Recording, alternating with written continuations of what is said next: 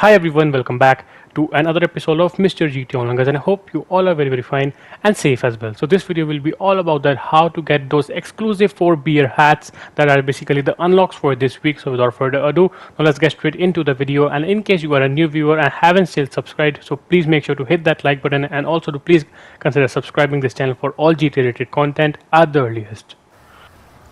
Now, in order to unlock all of these exclusive 4 beer hats, you will need to do event cargo business battles. Now, there are a variety of business battles available in the game, but in order to collect these caps, you will need to do the event cargo business battles, and the event cargo business battle will only give you these caps. Now, there are two to three things that I will let you know in this video. Now, the first thing is that you will not be able to collect all the four caps by doing a single event cargo. One event cargo will give you a single cap now this is a bummer or a lame thing but that is how it is. And also another lame thing related to this is that you can get the same cap twice as well. Now i have done two event cargoes now the first one gave me the patriot beer cap and when i did another event cargo in another session it also gave me the same cap. So that is again a bummer but that is how it is.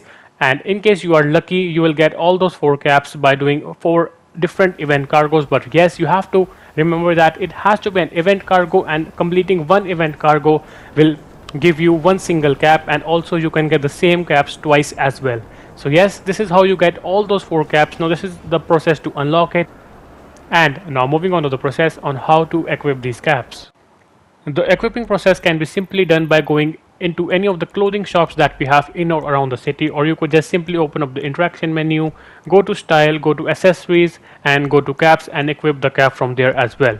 Now talking about the process on how to do it when in the clothing shop now firstly you just need to go into the section which says browse hats Exactly like this one, open up the big menu and browse down to special hats. Exactly this one and here will be all the unlocked caps. I have unlocked the Patriot special beer cap and this is how it looks like. And as I mentioned earlier, all of the unlocked caps will be available here and simply equip all of them. So I hope you enjoyed this short and simple tutorial video. Yes, this is a bit longer process than usual, but if you are lucky enough, you will be able to grab all four by doing four event cargoes. And I hope you do not get the same cap twice. So I hope you enjoyed this short and simple video. In case you did, make sure to hit that like button and also do consider giving a subscribe to the channel. I'll see you guys with another one very soon. Until then, bye bye.